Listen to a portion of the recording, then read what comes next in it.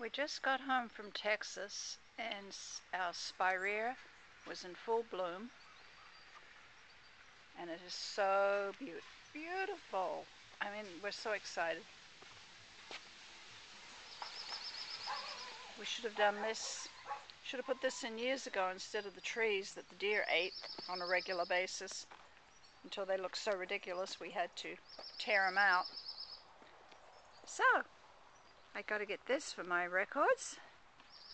My garden's very green because they've had rain like you wouldn't believe. I don't think it's stopped raining here except for a few days at a time since April. So one good thing about that I suppose is we don't have to uh, water.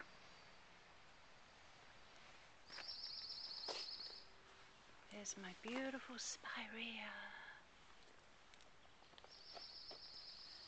My lilacs are done, I'm afraid, and my rhododendrons, but lupin is still going. And soon those bushes back there will have a lot of yellow buds. I have um, oh, several other things that will bloom here soon.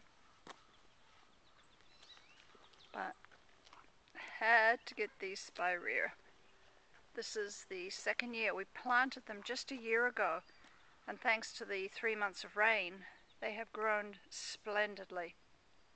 And they will get to be four to five feet tall. Wanted to share it